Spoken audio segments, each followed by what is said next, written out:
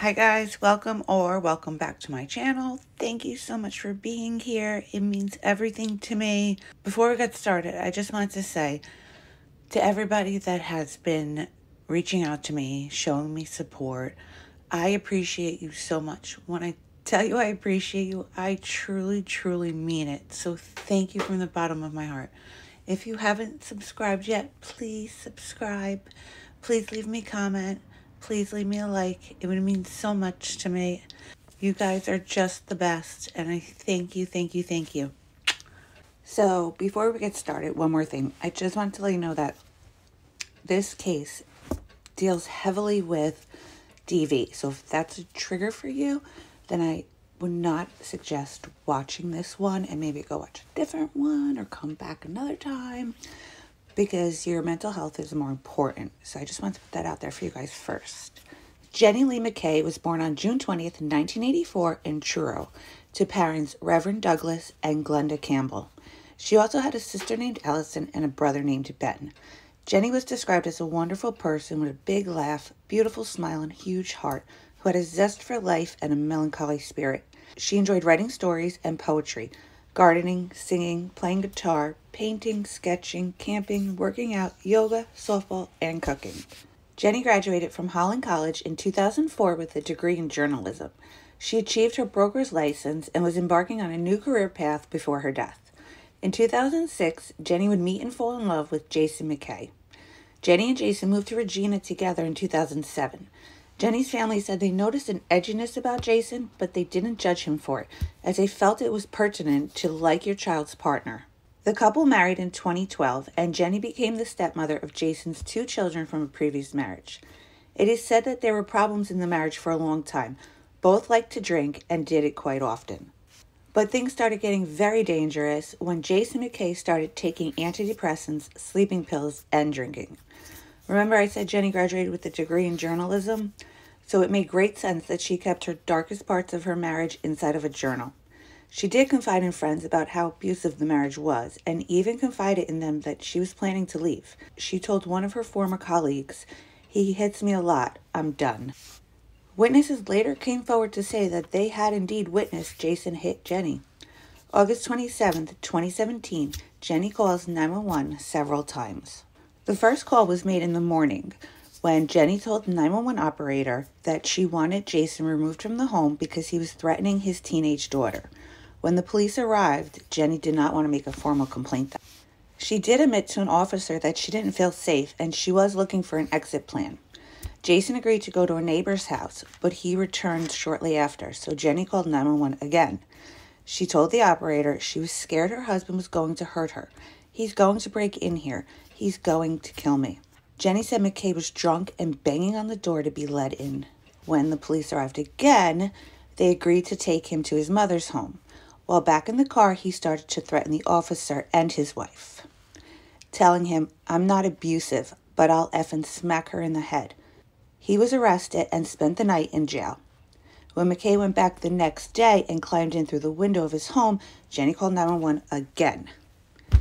He again agreed to go back to his mother's home and complained she would call the cops on him to get him in trouble.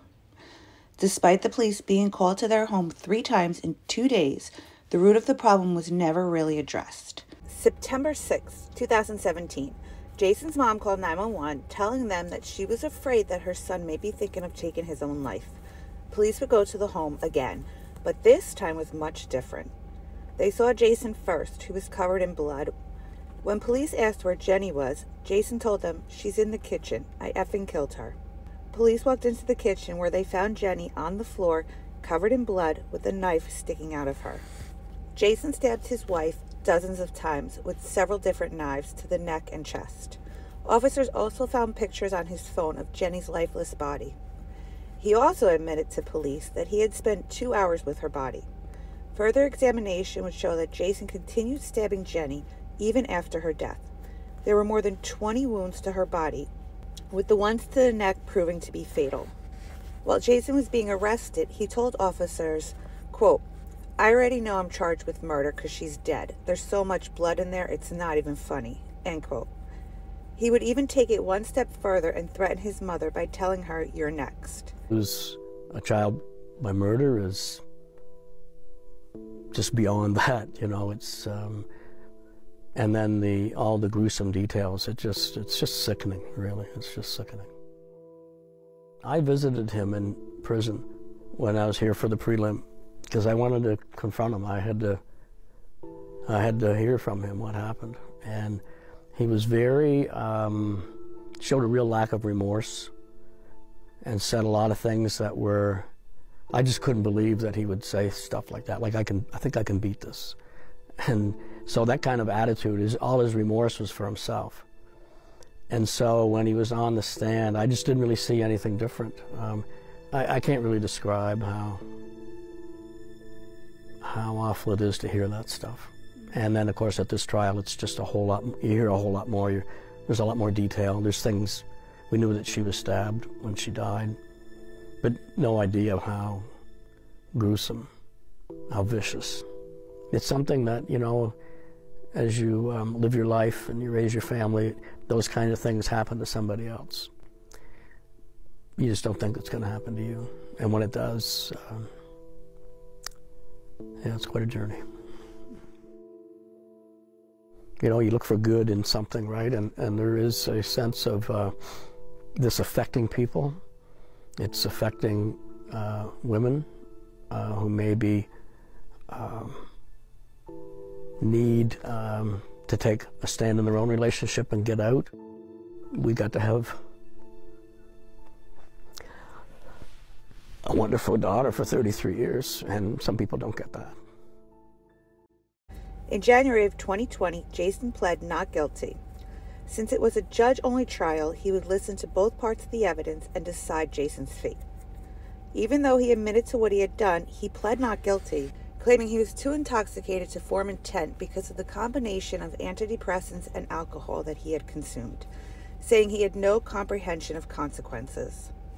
He would go on to say that after his first sip of wine that night at 8 p.m., he entered into a blackout state, then had hallucinations, believing he saw Jenny on top of him dressed in a black coat with a 20 inch dagger in her hand. The next memory he claims to have is of Jenny on the floor bleeding in her pink shirt. He would go on to claim that he didn't mean to hurt her, it was the voices in his head telling him to do it. Police would refute this claim by saying that Jason didn't seem confused or heavily intoxicated at the crime scene. The prosecution would go on to argue that this was done through malice and anger, with the blackout excuse being nothing more than an attempt at a lighter sentence. Today in court, Justice Michael um, Tochor sentenced Jason McKay to life in prison, and McKay can be eligible for parole after serving 17 years. That also includes the time since McKay was arrested in 2017. So back in January, McKay was convicted of second degree murder for killing his wife, Jenny, who died of several stab wounds. A second degree murder conviction automatically comes with a life sentence. But today, Justice Tochor needed to decide how much time McKay must serve before he can be eligible for parole, and we found out that is 17 years. Justice Tochor says when coming to his decision today, he considered three elements McKay's character, the nature of the offense, and its circumstances. Tochor said McKay's previous criminal record, which included three convictions of assault causing bodily harm, Jenny's 911 call saying she was scared for her life weeks before she died, the numerous stab wounds she suffered, the photos McKay took of Jenny after she died, and the victim impact statements all affected his decision.